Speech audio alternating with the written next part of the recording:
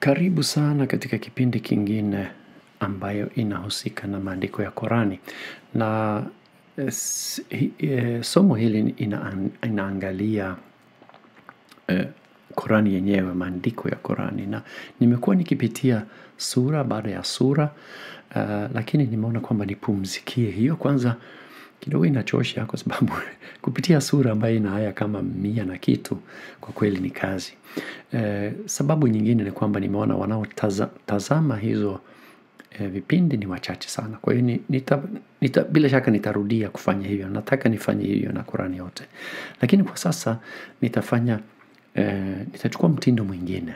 Nitakuwa nina mimi mwenyewe nitakuwa ninasoma kwa kupitia lakini baada ya hapo nina, nitakuwa ninaangalia ndani ya sura kama kuna aya moja ambayo nataka niongelee zaidi. Na nimesoma sura ya ya mariam e, na katika hiyo sura nimeona sehemu moja ambayo nimefikiria hivi hapo vipi.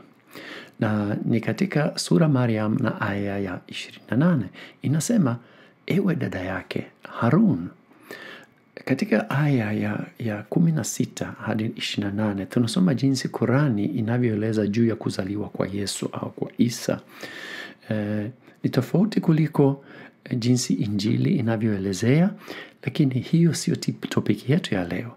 Topiki yetu ya leo ni kwamba Korani inachanganya watu wa Biblia. Ni kama vile haijui mtu gani anafaa wapi katika historia. Na eh, kwa hiyo leo ndo tunataka tuangalie jinsi Qurani inavyochanganya hao watu eh, na na hasa eh, Mariamu na Miriam. Ni watu wawili katika Biblia, mmoja ni dada yake na Musa na Haruni. Huyu ni Miriam, aliishi nafikiri miaka elfu moja mia tano sijui kabla ya Maria au Mariam ambaye alimzaa Yesu. Kwa hiyo ni watu tofauti wa, um, eh, sana katika historia na ni watu ambayo seme maelezo yao yote ni tofauti kabisa. Yaani hayana uhusiano. Kwa hiyo Mariam ni mzazi wa Yesu na Miriam ni dada wa Haruni na Musa. Katika maelezo ya Qurani, watu wa mjini e, alikoishi Mariam walifikiri amezini alipozaa mtoto na walipomwamkia tunasoma kwamba wanamwita dada wa Haruni. Unaona. Kwa hiyo Maria au Mariam amezaa huyu mtoto na sasa anamwonyesha kwa watu. Sasa watu wanashtukia kwa sababu yeye hana mume. Kwa hiyo amempataji huyu. Kwa hiyo wanamhamkia sasa lakini wanamhamkia kama dada wa Haruni na Musa ambaye aliishi muda mrefu kabla. Katika uh, hadithi tunasoma, katika sahihi Muslim tunasoma juu ya hiyo tukio, yani tupate ule mktada sasa. Kuna mtu mmoja kama mhubiri wa kiislamu ambayo, samahani sasa inapotamka jina lake jamani haya majina, mugira ibn Subah. Kama nimekosea naomba mnisamehe sana, utaangalia kwenye description. Anasema hivi huyu mhubiri, nilipofika najra wao au ni wakristo wa najra waliniuliza. Katika Korani unasoma dada wa Haruni, lakini Musa aliyezaliwa kabla sana ya Yesu. Niliporudi kwa mtume nilimuuliza na akanijibu. Watu wa zamani waliitana kwa majina ya mitume na watu watakatifu waliowatangulia. Mimi hapo nimefanya tafsiri yangu. Kuna link ninaweka ya hiyo hadithi, unaweza ukaipata kwa Kiingereza. Kwa hiyo mimi nimetumia Kiswahili, kwa hiyo sio nukuu kamili, isipokuwa ni, ni kama nimetafsiri hiyo nukuu. e, Ukitaka ilivyo kikamili, unaweza ukaenda hiyo hadithi. Kuna hiyo hadithi ya sahihi Muslim e, 5326 na link ipo kwenye description. Tunajifunza kwamba mtume alipohujiwa juu ya kosa katika Korani, alisema kwamba ilikuwa kawaida kutumia jina ya mtu mtakatifu au mwema. Alidai kwamba utumiaji wa jinsi wa jina ya Mariamu si kuchukuliwa kiuhalisi bali kama sitiari yani kama mfano. Unaona ni kama jina bandia kwa sababu eh, eh, eh, miriam alikuwa ni maarufu ndio maana wakamuita hivyo. Okay swali inakuwa ni hili sasa. Je mtuma alikuwa ha, hajui kutofautisha mariam dada ya musa eh, na haruni na mariamu mama wa yesu? Hiyo ni swali yetu ni kweli alikosea katika kuandika. Ni kweli qurani imekosea? Au ni kweli si tiari ilitumika na ndio maana mariamu aliitwa dada wa haruni? Kwa hiyo kuna posibiliti hizo mbili. Au je muhamed labda alificha kosa kwa kusema uongo? Kwanza kabisa ni muhimu kuona kwamba watu walioshitukia ni wakristo ambao wangefahamu kama ilikuwa kawaida kutumia e, mbadala au mtindo huo.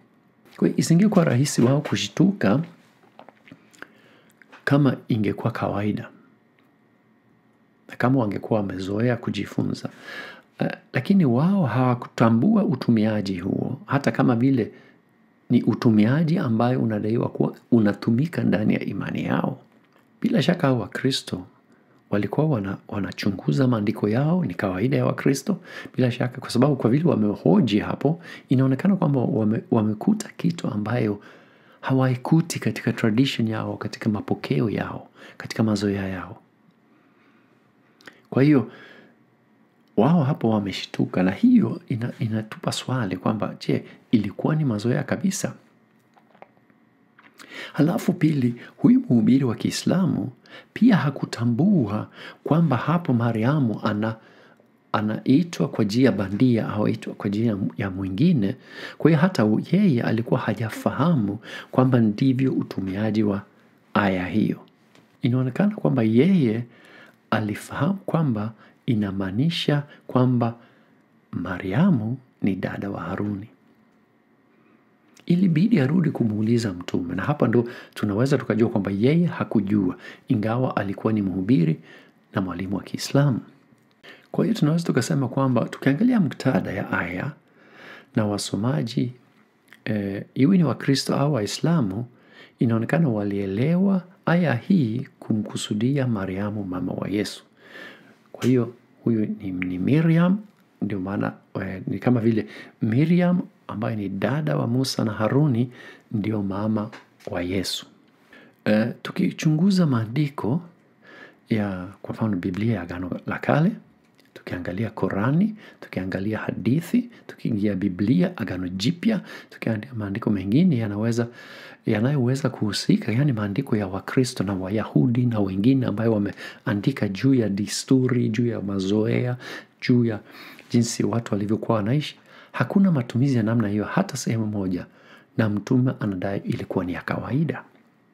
Kuna utetezi mwingine ambayo nas, e, ni kwamba Mariamu alikuwa wa ukoo wa Walawi sawa na wa Mariamu, lakini hiyo pia inapingwa na Biblia. Biblia inasema kwamba Mariamu ni wa ukoo wa Yuda. Ukisoma Luka sura ya tatu na Waebrania saba unaweza ukaiona hiyo. Kwa hiyo haileti maana kusema kwamba alikuwa ni wa ukoo wa, wa, wa Walawi na hata, hata Yesu mwenyewe eh, ni moja kwa moja tunajifunza kwamba yeye ni wa ukoo wa Yuda. Jina moja yake ni Simba wa Yuda. Kwa hiyo hapo si rahisi kumweka eh, katika ukoo mwingine. Nadhani tunaweza kusema kwamba katika aya hiyo sura 19 na 28 Qurani imechemsha. Kuna sehemu nyingi ambayo Qurani inachemsha kwa njia hiyo, kwa sababu eh, mimi ninaamini ni kwa sababu ni, ni kitabu ambayo eh, imeunganisha mapokeo ya watu mbalimbali, makundi mbalimbali mbali. Halafu imekuwa ikisawazishwa kusudi ifiti dini na inabidi wa deal na mambo mbalimbali. Wamekuta ku, wamekuja kugundua kwamba sehemu hii haiendani na, na mafundisho ya Biblia. Hapa kuna kosa moja katika Korani na wamejaribu kuirekebisha kwa kutengeneza hadithi inayosema kwamba muhamed alitaja hivi. Ndio kuna, kuna wengine wanatetea hiyo sehemu kwa njia nyingine, wanasema kwa njia ya muujiza huyu Miriam wa wakati ule hakufariki bali aliendelea kuishi mpaka wakati wa Yesu kuzaliwa, lakini nadhani hiyo si rahisi kuamini. Watu wanajaribu kutetea, lakini nafikiri utetezi wa, wa muhamed nafikiri ni wa msingi zaidi kuliko utetezi ya watu wa leo na inaonekana Muhammad alidai kwamba ilikuwa ni jambo la kawaida, lakini haikuwa jambo la kawaida. In fact, kila uchunguzi unaoifanya hakuna hata mfano mwingine wa utumiaji wa jinsi hiyo. Kwa hiyo conclusion yangu ni kwamba hapa Kurani ilichemsha, haikujua. Basi kama mnifuata mpaka hapa, mimi ninashukuru. Mungu akubariki sana, na bila shaka tutaonana katika vipindi vingine. Asanteni sana.